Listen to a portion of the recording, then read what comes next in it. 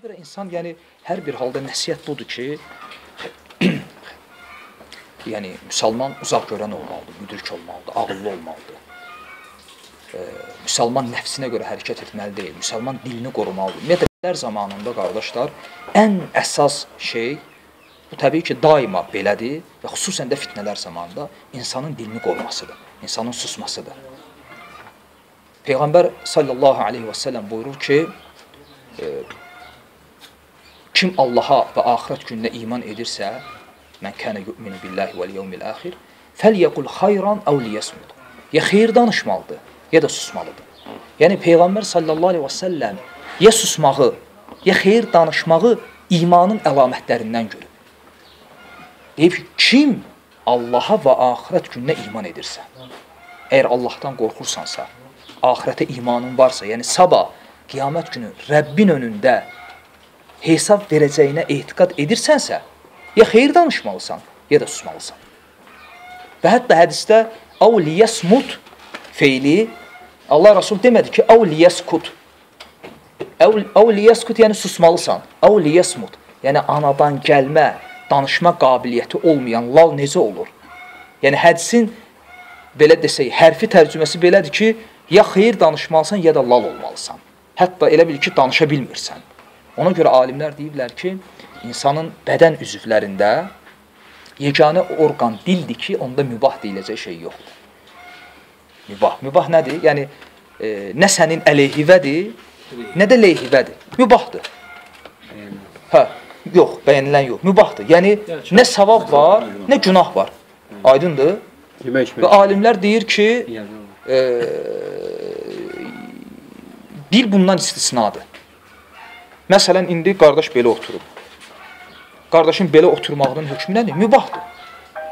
Yəni, insanın həyatında bütün əməlləri ki var, şəri hökmlərdən kənara çıxmır. İnsan yatanda da, duranda da, doğulandan və erkənlik yaşına girəndən ta vəfat edənəcən nə edirsə etsin, o etdiyi əməllər şəri hökmlərdən kənara çıxmır. Ya etdiyi haramdır, ya halal, savabdır, ya müstəhəbdir, ya mübahdır, ya da ya da ki məkruhdur.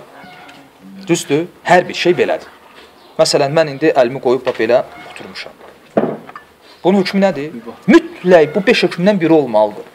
Yəni insanın bütün həyatı boyunca etdiyi əməllər bu şəri hökmlərdən kənara çıxmır, mümkün deyil. Çünki şəriət, şəri hökmlər hər şeyi ehtiva edib, insanın bütün həyatını. Ona görə sual verir, deyərsən, bu oturmağın hökmü nədir? Bu, bu cür oturmağın hökmü nədir? Mübahdır.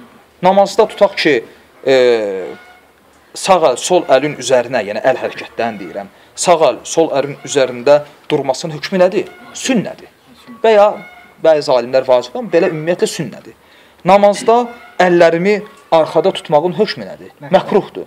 Aydındır, hətta iblis e, cənnətdən qovulanda bu cür qovulmuşdu. Yəni hətta əl hərəkətlərinin belə mübah, sünnə, məkruh deyilən hökmləri var. Alimlərdən bəziləri deyir ki, dil istisnadır. Dildə mübah yoxdur. Yəni nə danışsan ya sənin xeyrivədir, ya da əleyhivədir. Yəni başqa yəni bir şey yoxdur orada. Bu da tənbih babından deyilmiş şeydir.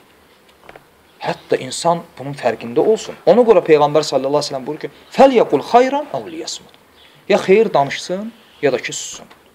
O səbəbdən e, Allah Rəsulu sahabələrə, yəni dilin fəsadı barəsində danışanda ki, insan hər danışdığına görə qiyamət günü yəni cavab verəcək, sahabələr təəccüblənirlər. Deyirlər ki, ey Allahın Rəsulu, yəni biz qiyamət günü danışdıqlarımıza görə cavab verəcəyik. Sahabələr Allah Rəsulu onlara bu şeylər deyəndə ötüb keçmirdilər. Onun fərqinə varırdılar ki, gör Allah Rəsulu bizə nə deyir?